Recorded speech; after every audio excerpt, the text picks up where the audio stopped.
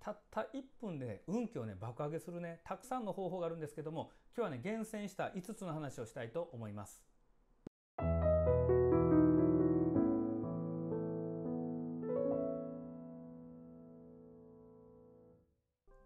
こんにちは矢野慶三です。幸運スマイチャンネルへようこそ。今日はですね1分で開運、え運気を爆上げするために今すぐね実践してほしい5つのね話をしたいというふうに思っています。このね1分で家でできる運気爆上げ法というちょっとねキャッチな言い方になってるんですけどもこれね実際これまで試してきてねすごい有効だったものをね取りまとめてる形ですなので今回のこの動画を見ていただいたらほぼね1分でできる運気爆上げ法というのがね手に入りますので最後までご覧くださいそしてね、動画の一番最後に今回のワンポイントアドバイスコーナーもありますので、最後まで楽しくご覧いただけると嬉しく思います。そしてね、チャンネル登録いただいている方からも喜びの声たくさんいただいているんですが、まだね、チャンネル登録されていない方も、今回ね、チャンネル登録をして、日々見ることでどんどんいい運気をね、流れるっていう、そういう循環をね、生み出していただけたらというふうに思いますので、よろしくお願いいたします。ではですね、まずその1からいきましょう。その1はですね、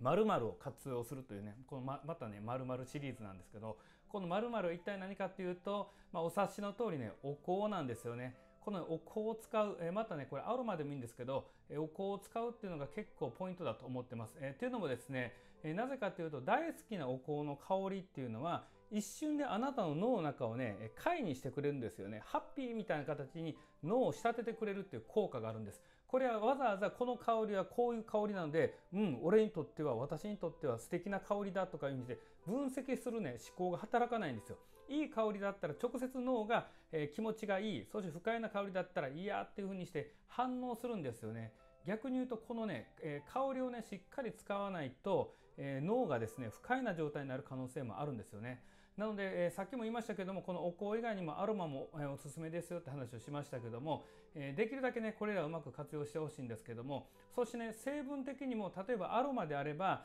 え、天然成分の多いものの方がですねえ脳が快とね、え認識しやすくなるということもあるので、えちょっとねできれば少しお金を、え投資して、え天然系のいい香りのものとかお香をね、え選ぶということをやってみてください。でこの時にですね住んでる家族の人が嫌いな匂いがある場合はですね使い方を気をつけてほしいんですよねこれ他の動画でもお伝えしましたけどもあなただけが気に入っているものであなただけが香りをかきたければあなたの部屋とかそういった形でやるとか他の家族がいない時間帯に炊いてみるとかその辺は工夫しながらやっていただきたいんですけどもとにかくあなたの脳がですね快になるスイッチをオンさせるためにはこのお香とかアロマが最高に効くということなんですよね。はい、そしてその時その2なんですけどその2はですね今度はね空間に音楽を取り入れるということをしてほしいんですよね。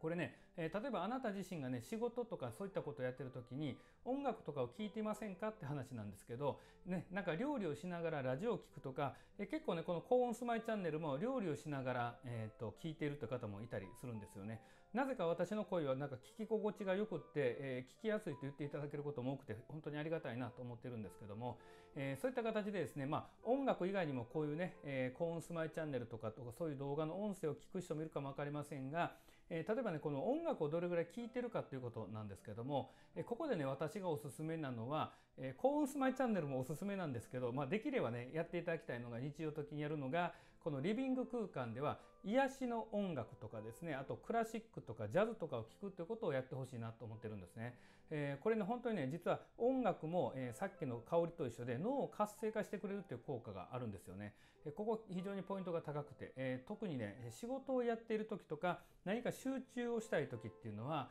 え、クラシックがね結構良かったりするんですよね。えー、私はどちらかというとモーツァルトをね聴いてることも多いですよね。あとね純粋にピアノだけの音とかそういったものもいいと思います、えー、というのもねクラシックの中でも、えー、なんかね歌を入ってるようなものとかっていうのはどうしても言葉が入ると脳がね若干邪魔をされるような感じがあるのでえできるだけですねその純粋な声以外の音楽えクラシックとかでもそういったものをね選んでいくのがいいというふうに思います。あとはですねそれ以外にもえー、矢野さんが言うなんか真面目な、ね、感じでやるのもどうかなと思う人もいるかも分かりませんので例えば集中する時には、えー、例えばクラシックそしてちょっと楽しむ時には、えー、好きな歌詞の歌とかあとはそうですねジャズを聴くとかなんか心がウキウキするっていう形で音楽を使い分けるっていうことをねこれうまくやっていただきたいなというふうに思います。はい、そしてその3はですねこれも瞬間的にできるんですけども家中を明るくするっていうことをしてほしいんですよね。えー、というのもですね結構、えー、この話を聞くまで薄暗い部屋で過ごしている人ってね結構多かったりするんですよね。このね薄暗い部屋で過ごすっていうのは、えー、どちらかというとですねあのこれまでの家づくりっていうのは日本の日本における家づくりなんですけども、えー、家の中には晴れとえー、そうじゃない場所っていうのがねあって明るい場所と暗い場所があるから家の空間としていいんだっていう発想がもともとあってそしてね、えー、そういった、えー、建築のことをいい空間とかいい建築という言い方をするんですけどもただ私がですね最近、えー、この12年思うのは現在このコロナ禍の中でですね多くの人がどちらかというともう気分的に感情的にネガティブにかなり偏っているような状態なんですよね。なのでこういう時代はですねもちろんそういう、え、暗いところと明るいところの、え、空間をうまく使い分けれるのも大切なんですけれどもただそれだとですね気が付いたら暗い空間に引っ張られがちになるってことが起こったりするんです。なのでここでねすごいポイントがあるんですけど人っていうのは基本的に努力をしないとネガティブになるのが自然っていうところがあるんですよね。なので朝起きた時にどちらかというと目覚めがいいっていう人はすごく少なくって朝起きたら何かもう一回寝たいなとか何か起きるのが面倒だなとかなんか今日はネガティブだなって感じてる人が実はね8割ぐらい多いんですよね。なのでそういったところが考えても人っていうのは、え、努力をしないとどちらかというとネガティブになる生き物なんだということも知っておきつつそして家の明るさっていうものをねしっかり活用してほしいんですけども、えそういった意味でもですね本当にね普段から意識して、え少しね心が軽くなるようなポジティブな状態になるように環境設定をすることがとっても重要だというところがあるんです。なのでここねしっかりと押さえておいてください。そういう意味でも、えー、家の中を明るくするということがポイントだと知っておいてくださいね。はいそしてねその時その4です。その4はですね朝一の玄関掃き掃除もおすすめなんですよね。これね1日10分掃除でね、えー、続けているとですね何が起こるかというとこのね玄関の掃き掃除はねだいたい朝1分ぐらいでできるようになると思うんですよね。そしてねこれ夜やる方もいたりするんですけどももちろんね夜やっていただいてもいいんですけどこれ朝一に玄関を履いて清めるとなんかね朝起きた時の気持ちがすごく軽くなるっていうことができるんですよねなので清々しい気持ちにするための一つの、えー、方法として朝一にですね玄関の掃き掃除を1分とかけずにやるっていうことをやっていただけたらいいんじゃないかなと思います。はい、そしてその次その後ですけどその後はですね朝一の家族への挨拶と笑顔というやつなんですよねこれね是非ね、えー、家族で、えー、住んでる人は見ていただきたいんですけども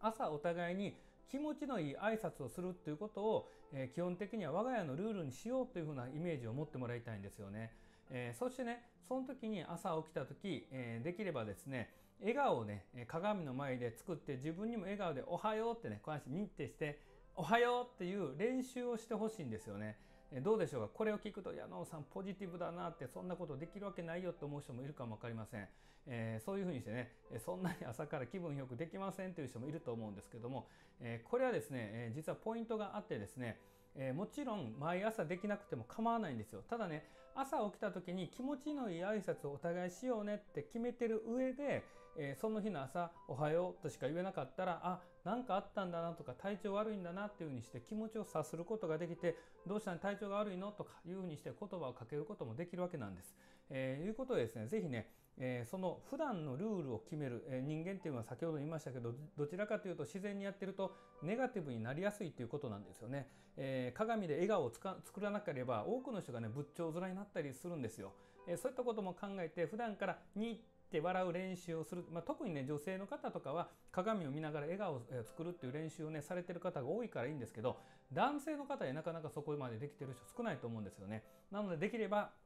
にっと笑って笑顔になって話をする練習をするというのをやってみてください。えというのも私もね1年前の自分の幸運スマイチャンネルを見ていると、えかなり仏頂面で喋っているなと思ったりします。まあ、最近少しマシになったのかなってちょっと思うところもあるんですけども、えそれでもね、え人間というのは仏頂面になりやすいんだということを抑えつつそしてね朝笑顔をしっかり作ってそして気持ちのいい挨拶からスタートするということをやると本当にね、え気持ちよくなるなっていうのがあると思います。是非ね今日の話、え熱が入りましたけども、え実践できそうなところからね実践して実感するということをね是非やってみてくださいねよろしくお願いします。はい、ということで、そろそろ最後になりますけども、えー、今日の感想よかったらコメント欄からどしどしお寄せください。毎回すごい楽しみに拝見していて、えー、ハートマークをね、押させてもらってます。あとね、えー、質問がある方、リクエストがある方も、え、コメント欄にお寄せください。え、毎回ね、お答えする時間がないので、動画で取りまとめてお伝えするということもしてますので、え、直接質問にお答えすることはないので申し訳ないんですけども、少しね、首を長くしてお待ちいただけたらというふうに思います。はい、そしてね、私は普段ですね、矢野慶三公式 LINE というのもやっています。えー、この公式 LINE ではですね、ここに上げている5つのね、え動画をプレゼントしていて、例えばね、風水でやりがちな危険な間違いっていうのがあるんですけども、そういったもの、これを見れば一発で全部わかるというふうな内容にもなっています。えー、興味がある方は概要欄の一番上にね、詳細がありますので、覗いてみてください。よろしくお願いします。はい、ということで、そうそう終わりになりますけど、まだね、この段階でチャンネル登録されていない方はチャンネル登録と、えー、高評価のグッドボタンをね、押していただけると励みになります。よろしくお願いします。はい、そしてね、一つ最後にお知らせがあります。私は普段幸せなライフスタイル研究所というね、オンラインサロンを、えー、Facebook のグループを使った有料でね、やってるものがあります。えー、有料でクローズならではこそ言えることってたくさんあるので、そういった話をしたりとか、あとはね、サロンメンバー個別のね、毎月の運気の活用法の話をしたりとか、月に1回から2回直接私に音声で質問ができる Q&A ライブなんかもやっています。えー、興味がある方はですね、概要欄の2段目あたりに詳細がありますので、1回覗いてみてください。よろしくお願いします。